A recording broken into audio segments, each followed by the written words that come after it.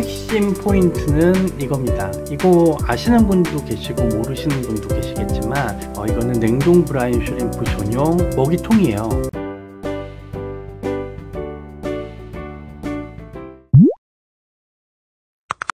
모노아이 TV 안녕하세요 문화이TV입니다. 아, 오늘은 어, 정말 간단하고 정말 별거 아니지만 어항 키우시는 분들 아, 어항을 키우진 않겠죠. 아, 물고기 키우시는 분들 제일 이제 귀찮고 이런 게 어, 아이들 똥 치우는 거죠. 어, 똥과의 전쟁이라고 해도 과언이 아닐 정도로 물고기 똥 치우는 거는 물생활의 일부입니다. 자주 해줄수록 좋은 건데 생각보다 똥 치우는 게 보통 번거로운 일이 아니에요. 일주일에 두 번 정도는 사이펀으로 환수를 한 3분의 1씩 하면서 그냥 사이펀으로 해주면 되잖아요. 어차피 물을 환수해 줘야 되는 거기 때문에 새 물을 넣어 주는데 매일 치우는 똥은 이게 또 부족분을 계속 치우다 보면 바가지가 하나 더 필요하고 또 물도 새로 보충을 해줘야 되니까 은근히 귀찮더라고요. 그래서 정말 별거 아니긴 하지만 편한 방법을 보여드리려고 해요. 오늘의 핵심 포인트는 이겁니다. 이거 아시는 분도 계시고 모르시는 분도 계시겠지만 어, 이거는 냉동 brine shrimp 전용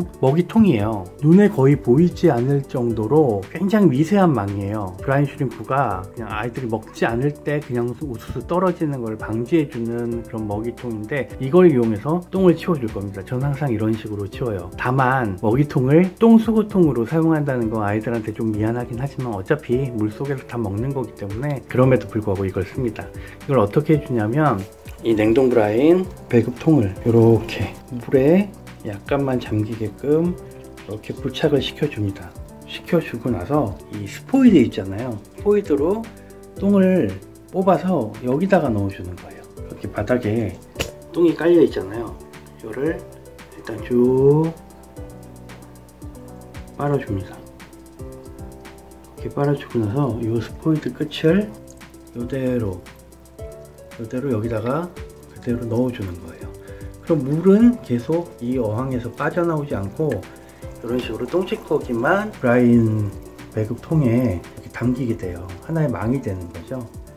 그래서 이런 식으로 저는 청소를 해주고 있어요. 이렇게 일단 똥을 쭉 스포이드로 빨아들이고 끝을 여기다가 넣어줍니다.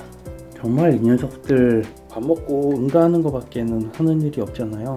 그러다 보니까 은근히 많이 쌉니다. 저희는 지금 이, 이, 일부 바닥을 아예 자갈이나 이런 거를 넣지 않아서 청소하기가 뭐 눈에도 물론 잘 띄지만 청소하기가 좀 쉬운 편인데 이 자갈 같은 게 있어서 스포이드에 같이 딸려오더라도 딸려온 다음에 그냥 조금 기다려주면 이 무게 때문에 자갈들은 다시 아래로 스포이드 밖으로 나오거든요 그때를 기다렸다가 이런 식으로 제거를 해주셔도 괜찮아요. 이 아이들의 응가가 질산염이라는 것을 발생시켜서 가능하면 자주 이렇게 저희는 하루에 한 번씩은 해줘요. 근데 이게 오래 걸리는 건 아니거든요. 보시는 것처럼 그냥 이런 식으로 간단하게 하루에 청소를 해줘요. 네, 이 정도만 해줘도 눈에 띄게 네, 깨끗해진 걸 볼 수 있습니다. 그리고 이제 다 청소가 끝나면 간단하게 이 먹이통을 이렇게 분리를 해서 손바닥 위에 이렇게 놓은 다음에 화장실 변기 위에서 샤워기로 거꾸로 놓고 씻으면 너무 심플하게 끝납니다. 이제 깨끗해졌죠? 이렇게 깨끗이 씻고 나서 다시 원래의 자리로 놓으면 돼요. 네, 이런 식으로 청소를 끝내고 나면 네, 이제 분리를 해서 제가 자세히 찍어 봐 드릴게요.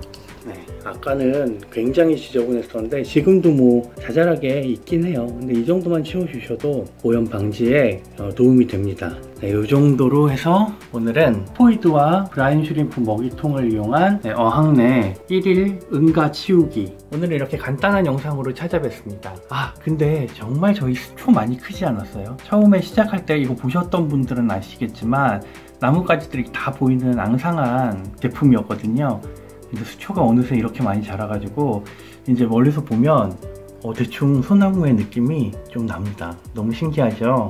네, 오늘 영상 여기까지 할게요. 언제나 그렇듯이 오늘도 기쁨 넘치는 하루 되세요.